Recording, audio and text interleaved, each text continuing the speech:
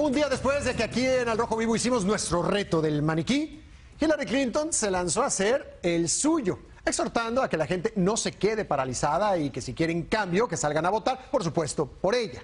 La candidata demócrata hizo el reto en su avión en compañía de algunos miembros de su equipo de trabajo, incluyendo asesores y ayudantes, y nada menos que el cantante Bon Jovi, que, como saben, ha estado apoyando a Hillary desde el inicio de su campaña. Cada vez que la vida nos estremece inesperadamente, nos damos cita e investigamos para que tú estés bien informado.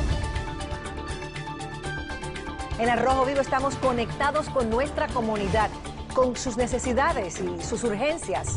A las 4, 3 Centro. Somos tu primer frente de información.